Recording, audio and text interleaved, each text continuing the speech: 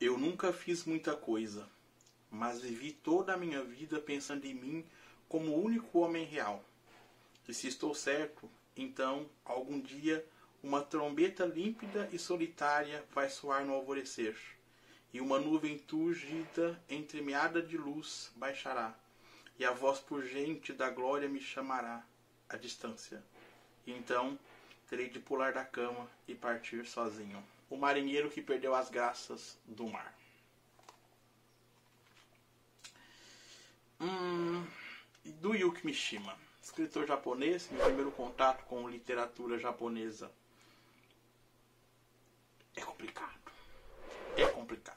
Este livro aqui eu gostei da escrita, eu achei a história boa, mas o que eu achei complicado o final. Não gostei do final. Bem, tudo bem é um final aberto. Põe-se a imaginar o que você quiser do final deste livro, mas eu acho que o final deveria ter sido melhor. Isso é opinião minha, mas o livro é bom. Vamos, ao que interessa. Então, aqui neste livro acontece no Japão, o escritor é japonês. Não vou me perder muito na biografia do Yuki Mishima, porque aqui é sempre um livro. O que nos interessa é mais o livro do que o autor. É um, um recado que eu deixo para quem assiste o canal Gente, eu nunca estou preocupado com o autor em si quando eu vou comentar um romance dele. Vou me preocupar com o autor quando eu ler uma biografia. Em breve vai sair um vídeo aí sobre o outro lado de mim, do Sidney Sheldon. Aí eu vou falar da vida dele. Mas quando eu estou lendo um romance de, do escritor, eu me interesso em apenas falar do romance. Por isso que é sempre um livro. Então, o que importa aqui é que o Yuki é japonês, foi um grande escritor e ele cometeu o Arakiri. O único ponto que eu vou contar é como eu conheci esse autor. Por que, que eu fui ler Yuki Mishima. Eu gostava de um seriado que passava na Globo. Sim, gente, já assisti muita Globo antes das plataformas. Né? Hoje em dia é só Netflix. Mas existia um seriado que passava na Globo chamado Toma Lá da Cá, do Miguel Falabella. O Miguel Falabella fazia um personagem lá chamado Mário Jorge. E a Celinha, que era Adriana Esteves, tinha um filho chamado Adonis. E tem um episódio que o Adonis está lendo um livro, que não é esse. E, e ele fala pro, pro Mário Jorge: Você deveria conhecer, porque esse escritor aqui cometeu o Araquiri. Então eu fui pesquisar quem era, tá curioso para saber, e aí descobri que era o Yuki Mishima que o menino estava lendo lá no seriado.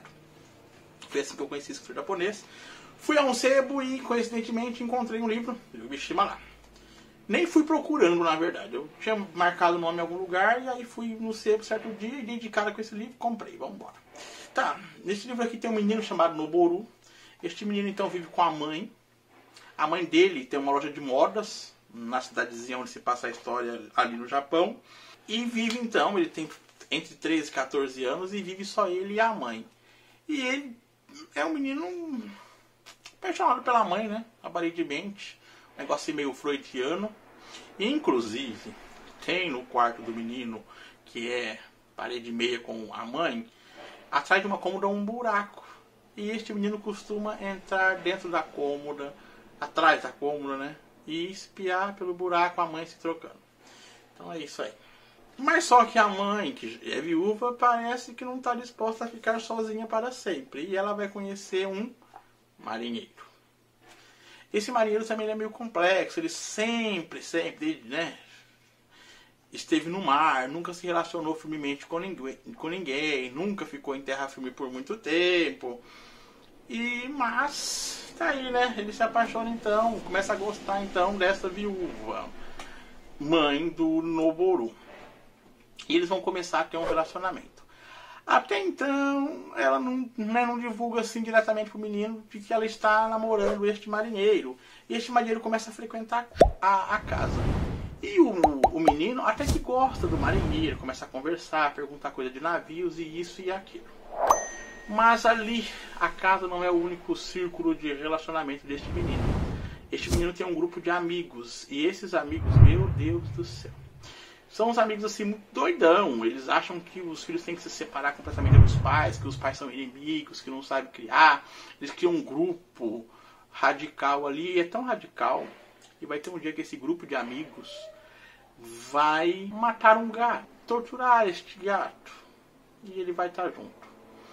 E esses amigos é que começam a colocar na cabeça do Noboru essas ideias de, de fazer diferente, se libertar dos pais, de é um, um, grupo revoltado da vida. Então, você acompanhando a história do Noboru, ele parece que ele até gosta desse marinheiro, mas quando ele descobre que a mãe e ele está namorando, ele conta pro grupo de amigos. O grupo de amigos começa a fazer uma politicagem ali na cabeça dele contra isso que viria a ser, quem sabe, no futuro seu padrasto e ocuparia então o lugar de seu pai. Mas lembra do buraco da cômoda? Pois é. Vai ter um dia então que o Noboru vai ver a mãe fazendo sexo com esse marinheiro. E insuflado pelos amigos e pelas coisas que ele vê, o próprio sentimento que ele começa a sentir em relação ao marinheiro, fica com medo de estar gostando do marinheiro, o marinheiro gosta da mãe dele, e, e gostando como uma pessoa. Não vai pensar baixo, a mente é poluída. Então ele planeja acabar com esse marinheiro também. Gente, é um romance meio estranho. Uma história meio estranha, a história desse menino, dessa família, dessa mulher. Coisa muito simples.